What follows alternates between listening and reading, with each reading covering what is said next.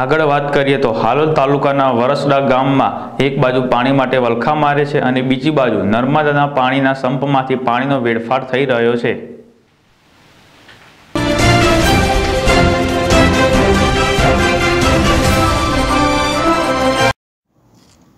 વરસડા ગામમાં મહિલા બહેનો પોતાનો સમય કાઢી પાણી માટે લાંબી કતારોમાં હેન્ડપંપ પર પાણી માટે ઊભા રહેવા મજબૂર બન્યા છે. અને વરસડા ગામમાં નર્મદાના પાણીના સંપ આવેલો છે. તો આ નર્મદાના પાણીના સંપમાં ઓવરફ્લો થતાં પાણીનો વેડફાટ થઈ રહ્યો છે.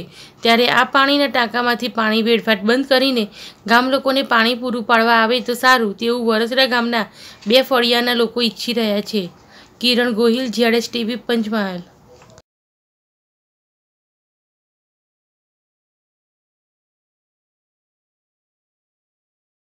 કોના વરસડા ગામમાં ટેકરા ફર્યું મઠ ફર્યું અને વનકરવાસ ફર્યું. એમાં પાણીની અછત છે. બે હેડપંપ પર અ, મહિલા પાણી ભરે છે.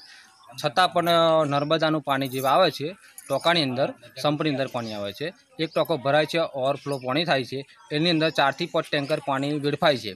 જો એ પાણી અમને મળે તો મઠ ફર્યું ટેકરા ફર્યું અને વનકરવાસને પાણીની અછત